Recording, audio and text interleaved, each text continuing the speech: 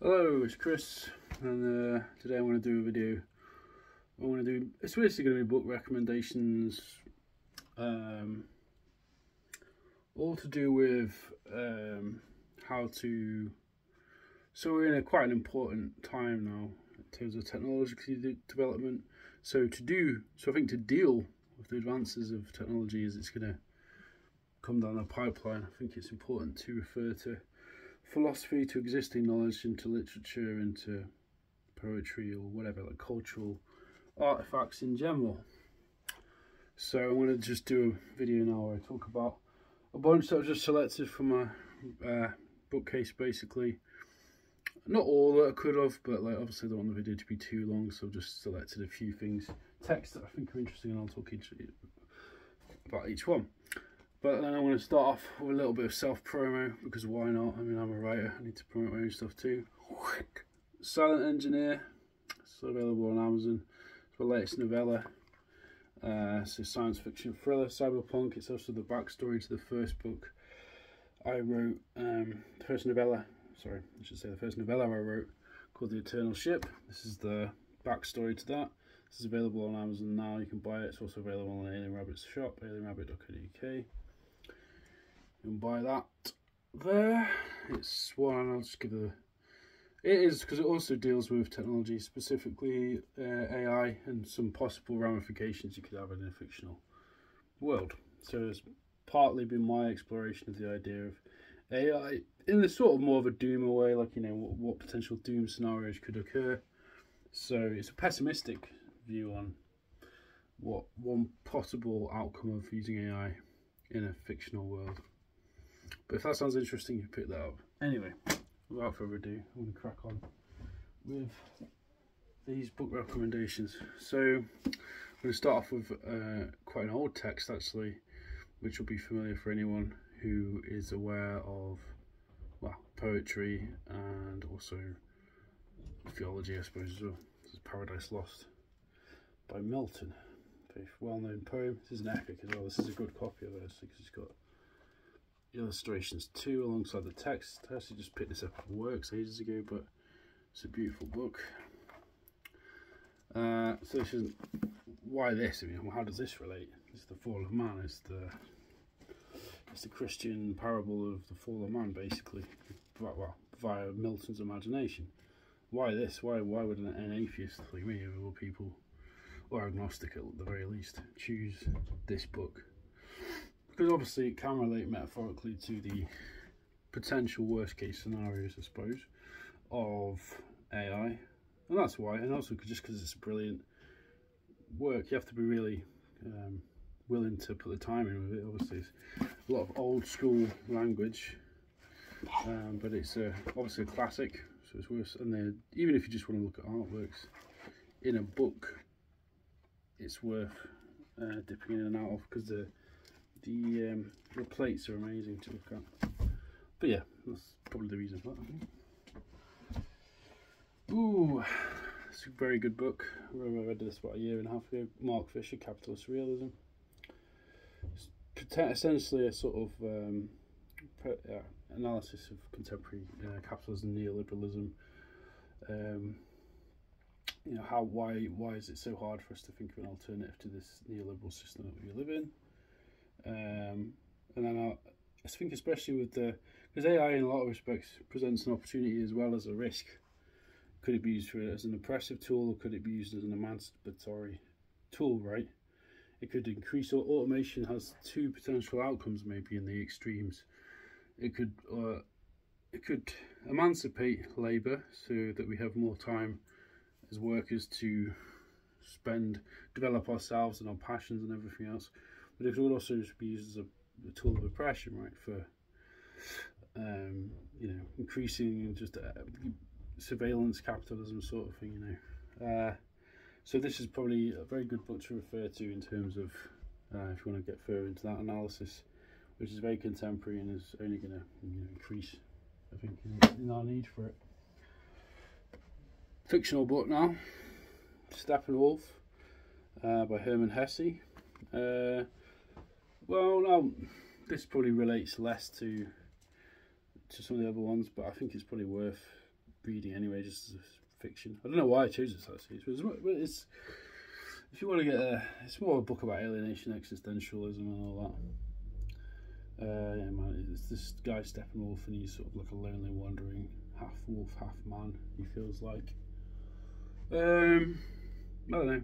I don't know why I chose this one actually, but I did. It's worth reading anyway, in and of itself. Very contemporary one. I've only read this about a few months ago. Uh, Byung Chul Han, uh, The Burnout Society. Um, exploration of how uh, in contemporary capitalism we're so driven to working and we are, everyone's getting exhausted everyone has to put up this pretense of always being productive all the time we always have to feel like we have to justify our productive labor all the time and our time always has to be used for that um, now obviously it goes a lot deeper into more uh, historical ideas I think he does mention Nietzsche and some of the probably the existentialist from what I remember. It was actually a while ago that I finished this. I only read it once. But yeah, uh, I think he dives quite a lot into Schopenhauer, Schopenheim, Schopenhauer, sorry, Schopenheimer, I know what Oppenheimer like it, Schopen, Schopenhauer, and uh, talks a lot, relates a lot of that back to you know the sort of contemporary society of overwork. So, like obviously, like I said before, potentially one of the good side of AI it could uh, aid with that. It could, if we get it right in terms of like how we implement AI, maybe we won't have to be so much like hamsters on a wheel, constantly fighting for the crumbs, right? So that, that this is an analysis of the current problem, if you want, with society and the burnout society in general. It's well worth reading.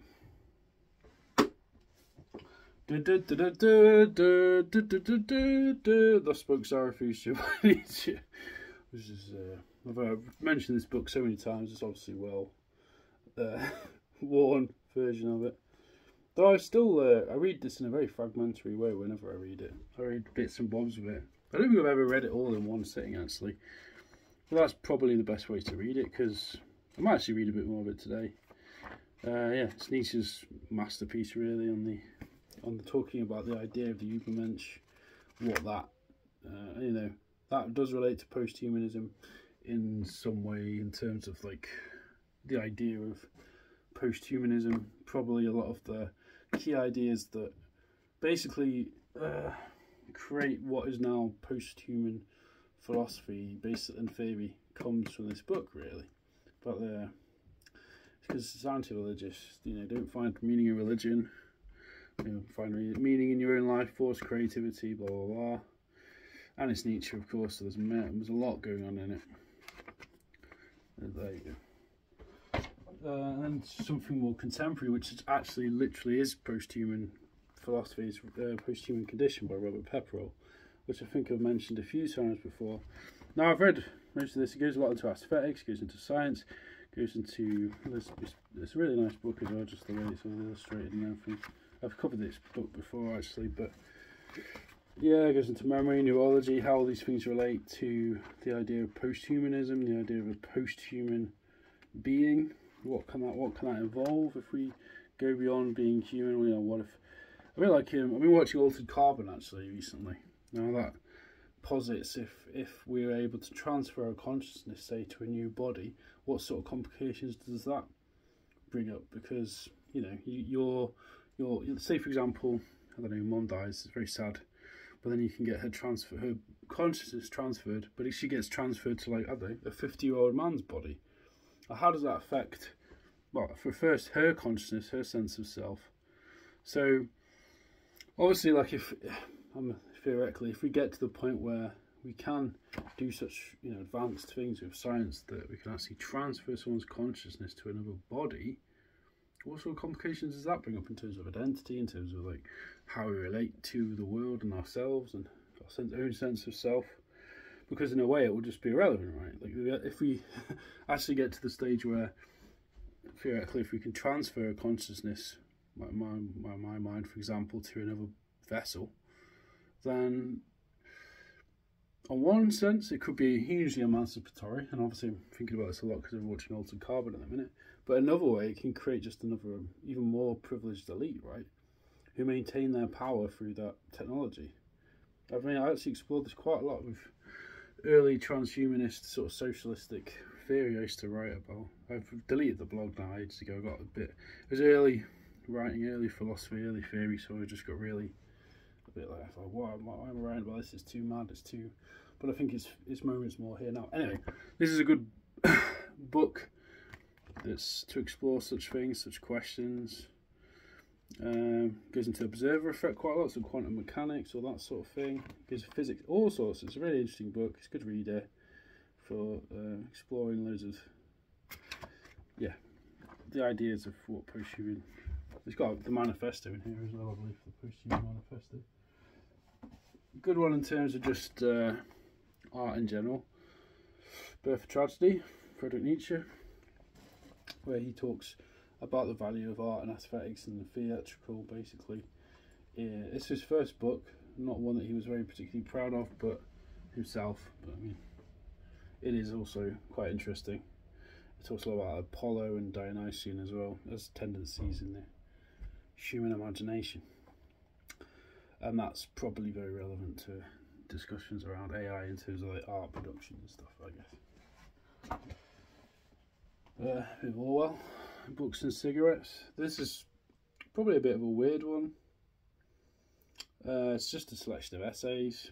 It's been a while since I read it actually, but a bit of a vague one actually that That's, but yeah it's worth reading anyway uh, well, this is a classic book uh, the red book by Carl Jung so this is a book that is again a bit like this book Zarathustra it's very interesting to flick through uh, it's hard to read in all in one go obviously it's quite large it's almost the way it's presented is almost like a bible in itself and he does relate a lot of the these dreams do relate to God and Christ and everything else.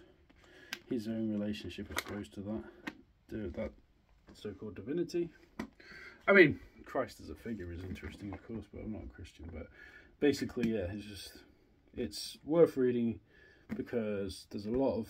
I mean, I think from when I understand of Carl Jung, he was going having a nervous breakdown when he wrote a lot of these um, ideas down and you know he talks about intoxication mythology redefining the soul uh, there was one bit which is I really do remember where he's talking about war as well and like what that represents in the human psyche which is pretty mind-blowing but essentially one of the things he says in that is that whatever you do you know if you start causing pain to other people that I mean you're doing it to yourself. Like if you, if I had a rifle now and I started shoot, I shot someone in the head, that's a pain you're doing to the collective mind, the collective unconscious, if you will. You're, you're, and obviously that is true because if, you know, like if post-traumatic stress, we know that exists. If I, if you start engaging in actions which are going to negatively affect everybody, then you are going to, that guilt will not die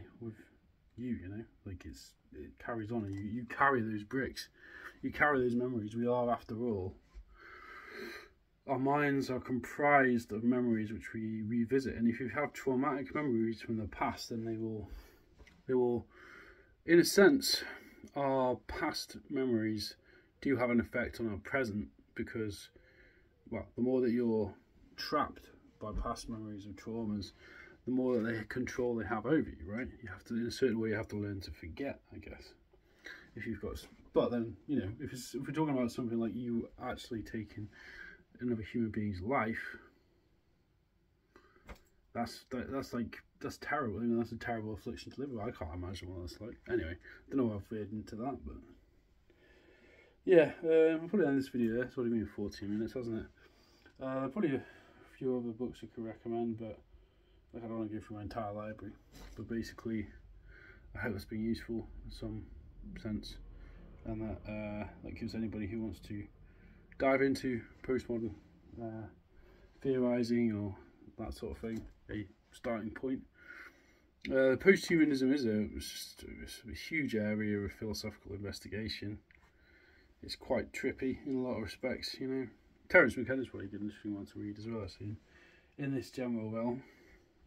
And oh, so I suppose I could just recommend this, though I've not read it yet. Schopenhauer, World as Will and Representation. Something I actually do need to look into more because I am more. I do want to figure out a bit more um, just the idea of the will, because Schopenhauer is basically the the, uh, the philosopher who really sketched all that work out in terms of like the will as uh, the will is in action in the world. Like you know, that's all we are essentially in his view. That we are the will. Our will is our creative will is what creates meaning in the world, basically, and that's about it. That's about that's all there is.